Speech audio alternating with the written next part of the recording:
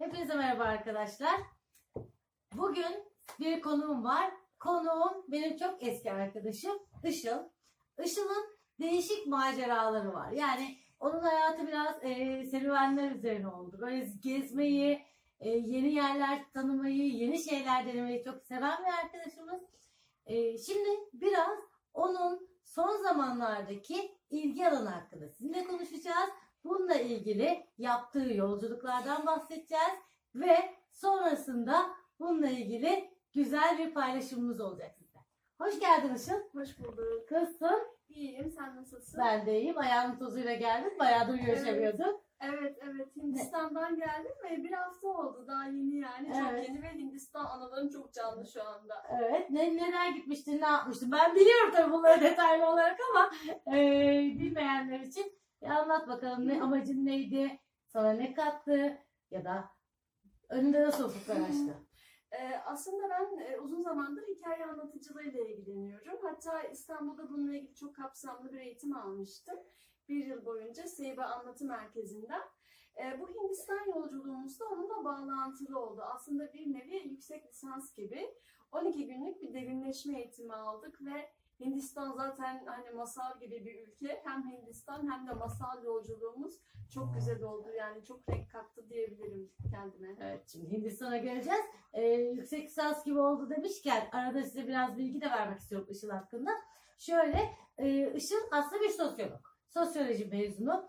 Bu e, alanla ilgili sosyoloji ve işte e, yan dalları ile ilgili çeşitli çalışmaları olmuştu. E, işte psikolojik danışmanlık sertifikası olması, işte e, felsefe öğretmenliği yapmış olması, işte e, yüksek lisansının olması gibi çalışmalar vardı. Ama dediğim gibi son dönemlerde Işıl biraz daha hani bu klasik sabah git okula da, e, anlat sonra işte akşam dön işte ertesi gün tekrar git öğrenciler bu rutini yani benim hala devam ettirdiğim bu ru- rutini bozarak yeni arayışlar içine girdi ki bu arayışların içinde e, anlatıcılık onun çok içine işledi gönlünü fethetti diyebilirim. Uzun zamandır bu anlatıcılıkla ilgili e, çalışmaları var. Bununla ilgili eğitimler almıştı. Mesela bazen fark etmişsinizdir. Ben, benim Instagram sayfamda da e, takip edenler bilirler. Paylaştığım böyle atölyeler, okuma çemberleri ya da anlatı çemberleri gibi etkinlikler oluyor. Onların aslında hepsinin mimarı Işıl. Yani o paylaştığım e, bilgiler Işıl'ın e, yaptığı uygulamalar üzerineydi. E, bu Hindistan'da o zaman sana bu anlatıcılık açısından bir e, ufuk açtı. Tabii pek çok uygulama gördük. Yani gölge çalışmaları, kuklalar, e, tandem birlikte grup olarak anlatmalar bayağı hani farklı tekniklerle yeni ufuklar açtı kendime aslında. Peki bu alanda bir takım çalışmalar yapmayı düşünüyorsun. Mesela anlatıcılık üzerine bir kanal açıp seyircilerimizle paylaşmak gibi bir plan nasıl olabilir? Aslında senin çalışmalarını da takip ediyorum ve hani seni gördükten sonra o da bana ilham oldu. Öyle hani bir e, kanalım olsun diye düşünüyorum aslında yakın zamanda. Evet. Benimki biraz daha ortaya karışık. Yani aslında biz biliyorsun e, ders anlatma, konu anlatım videoları olarak başladık. Sonra bu e, ders anlatım videolarına roman özetlerini ekledik. Roman özetleri aslında ders anlatım videolarından daha çok ilgi gördü. Sonra yaz döneminde e, tamam çalışıyoruz, e, öğretmeniz, akademik çalışmalar falan ama bir taraftan da anneyiz. Ve yaz döneminde biraz daha mutfak kısmı girdi işin içine. Şimdi biraz daha böyle e, bun- bunların hepsi zaten devam edecek. Yani Reyhan Hoca mutfakta roman özetleri falan devam edecek ama böyle yenilikler işte senin yaptığın gibi ufuk açıcı şeyler hakkında da bilgi vermek. E, bunları merak edenlerle de paylaşmak istiyorum. Ben e, açıkçası bu bu nedenle de böyle biraz daha senin gibi e, hikayesi olan e, arkadaşlarıma konuk almak istiyorum. Yani yaptıkları, ettikleri şeylerle ilgili. Ee, burada da senin aslında e, izleyenlere yol göstereceğini düşünüyorum. Şöyle bir şey arkadaşlar tabii siz yıllardır ben Işıl'ı tanıdığım için biliyorum. Ee, Işıl'ın hayatında çok e, çeşitli serüvenler oldu. Mesela e, bahsettim bir e, sosyolog bununla ilgili akademik çalışmalarını yaptı. Bununla ilgili senelerce çalıştı. Hatta beraber çalıştık. Biz o zamanlardan tanışıyoruz. Sonrasında e, bir Avrupa maceraları oldu. e, bir Avrupa Drama- seyahatleri oldu. Drama Evet drama kursları olmuştu. Sonrasında e, bir doğal yaşam maceran oldu ki bu doğal yaşam maceraların sırasında bayağı bir aslında uzaklaştığımız ya da en azından iletişimimizin kısıtlı sayıya indiği dönemler oldu. Onun dışında şimdi bu Hindistan yolculuğu ama bunu şöyle düşünmeyin. Hani gitti onu da denedi, onu da denedi, onu da denedi olarak düşünmeyin. Bunların hepsine ciddi zamanlar harcadı, yıllarını verdi. İşte mesela kırsala yöneldiği zaman gerçekten bunun eğitimini aldı. Arıcılık sertifikası aldı. E, işi bilenlerin yanında ciddi zamanlar harcadı, yıllarını verdi. E, sonra oralarda tanıştığı kişiler vasıtasıyla biraz bu eskiden olan işte zaten pedagojik formasyona sahip olmasının verdiği bir şeyle işte bu anlatı, öğretmenliğin zaten temeli biliyorsunuz. Anlatı merakı böyle masala doğru kaydı. E, sonra bu masal macerasının içinde bir Hindistan ufku açıldı onun için. Bu fırsatı kaçırmadı. Gitti. Bununla ilgili Instagram hesabından bahsettik de Instagram hesabının dışında e, aslında sosyal medyaya çok yabancı bir insan değilsin. Evet. Yani benim aslında planım şu. Burada e, senin ne, e, senin yaptıklarınla ilgili arkadaşlara bilgiler verdikten sonra birkaç gün içinde başka bir videoda senden güzel bir anlatı sunup senin aslında biraz daha e, bir bu sektörde yani YouTube piyasasına da girmeni istiyorum. Neden? Çünkü Işıl'ın evet yeni açtığı bir Atölye Göknar diye Instagram hesabı var ama bunun dışında öncesinde bir blogu var. Bu bloga da ciddi yazılar yazıyordu. Ha tabii ki kırsalda olduğu dönemde bu yazılar birazcık sekteye uğradı ya da aralıkları uzadı. Çünkü o da iletişim yani Tabii. internet çekmeyen köylerde olduğu Tabii. da oldu değil mi? Tabii tabii bazı köyler çok dar köyüydü ve internet yoktu. Her Hı hı. zaman internet erişimim olmuyordu. O yüzden e, hani fırsat buldukça gittiğim çiftliklerdeki e, maceralarımı, yaşadıklarımı e, dönem dönem yazıyordum. İşte bu tür e, e, paylaşımların olduğu bir sayfam var. O sayfanın adını da söyler. İstersen arkadaşlar oradan da takip etmek isteyenler haberdar olsunlar. Işılkayagül.com E, videonun açıklama kısmına e, hem Instagram hesabının hem bu blogun linkini zaten atacağız. Bu arada benim Instagram hesabım zaten Reyhan Hoca'da. Onu biliyorsunuz. Onu da koyarız. E, onun dışında Işıl şimdi bu Hindistan'a gitmen aslında biraz e, uzun bir macera. Yani önce bir niyetlenmiştin. Sonra biraz daha zaman var diye galiba askıya aldın. Sonra zamanın yaklaştığını öğrenince bir heyecanlandın.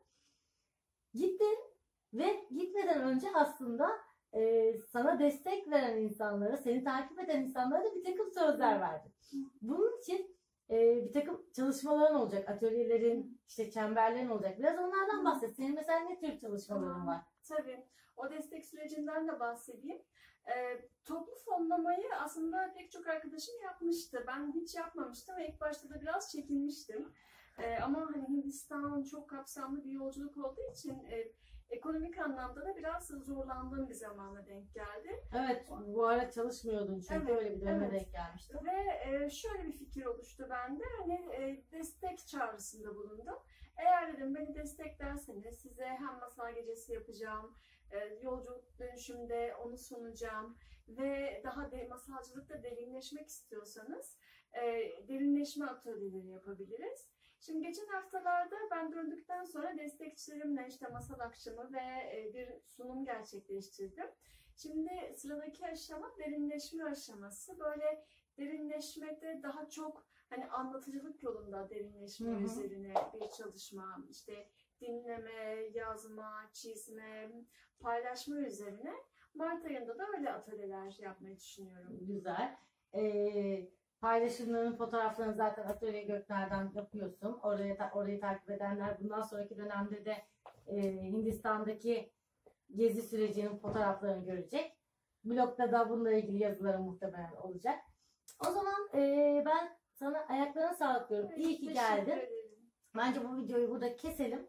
Daha sonra bu videodan muhtemelen bir ya da iki gün sonra senin güzel bir anlatı videonu çekelim. Seni bu YouTube mecrasına sokalım. Sonrasında da güzel bir YouTube kanalı sana da açarız. Dediğim gibi sadece masal anlatıcılığı değil, arıcılık bilgileri, hayvanlarla yaşadığın tecrübeler ya da dil öğrenmek için ilk o e, yurt dışına ilk yalnız başına gittiğindeki yaşadığın bunların çoğunu ben az buçuk biliyorum. Yani bunlar bizim hayatımızda yaşanarak oluşmuş şeyler ama e, bu yolların hepsi daha yeni çıkacak çok genç arkadaşlarımız var. Evet, Yani biz biraz daha, evet. Tecrübelerle bunları yaşadık. Sen biraz daha o konuda gözü kara olduğun için bunların hepsine fırsat bulabildin ama bu gözü karalığı yapamayacak olanlar var. Ki şöyle söyleyeyim. Işıl o kadar naif ve o kadar aslında e, bazı şeylerden ürken bir insandı ki birçok korkusunun üstüne giderek bunları yaptı. Aa, tabii. Yani hiç bilmediği, ben ilk yurt dışına gideceği zamanı hatırlıyorum. Ee, kuzeni seni alamayacaktı. Oradan çıkar gelirsin bulursun demişlerdi Evet. mesela. İlk kez gittiği bir yer dil sınırlı bir bilgiyle ama altından kalktın. Sonra hiç bilmediğin daha farklı ee, şey neydi mesela Finlandiya mıydı? Hayır, e, bir gençlik kampı vardı Finlandiya'da. Evet mesela oraya gitti. Tamamen ayrı bir macera. Mesela bunların hepsi ayrı birer anlatı sebebi olabilir. Dediğim gibi hani bir kanal açarız. O kanalın içinde işte anlatı, öykü çemberleri olur. Ee, senin daha önceki gezilerdeki yaşadığın anılar olur. Yurt dışına çıkmak isteyen arkadaşlara yol gösterici projeler olabilir. Böyle bir e, çalışmayla çok yakında Işıl sizde olacak. Ama Işıl'ın masalları dinlemek istiyorsanız da şimdilik benim kanalımı takip edeceksiniz. Çok teşekkür ederim böyle bir alan açtığın için bana. İnşallah bu alan senin e, çok daha kendini rahat ifade edebileceğin alan olacak diye düşünüyorum ben. Çünkü bizim işimiz anlatmak. Ve e, bu platformun bize sağladığı en güzel şey de bu. Sınırsız bir şekilde biz anlatıyoruz. Dinlemek isteyen dinliyor. İstemeyen zaten birçok seçenek var. Sağda solda bir sürü başka videolar var. Herkes ilgi alanına göre bir şey bulabiliyor. Yani YouTube'un güzel tarafı o. O kadar bir çeşitlilik var ki hani biz biraz daha şeyiz. 80 dönümü çocukları olarak hani tek kanallı e, kültürden geldiğimiz için bu kadar alternatif olmasının mucizesini biz aslında daha kıymetini biliyoruz. Şimdikiler çünkü biraz daha şey olabilir. Zaten hep seçenekler içine doğdular. Ama biz yani belli saatte bir program var. Onu seyretmek istemiyorsan kapatacaksın. Kültüründen gelmişken şimdi ha, onu istemiyorsan bunu tıklarsın gibi bir şey bizim için büyük bir hazine. Ve bu hazinenin içinde niye ufak birer kum tanesi de biz olmayalım. Ki bir kum tanesi gerektiğinde inci tanesine de dönüşebilir. Aa, ne güzel söyledin. Hepinizi öpüyorum. Abone olmayanlar abone olmayı unutmayın.